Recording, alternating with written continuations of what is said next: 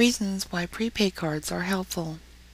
Prepaid cards have grown in popularity for a number of reasons. Parents like the fact that they can give their child a prepaid card and not worry about them going over a credit limit or incurring overdraft fees or penalties.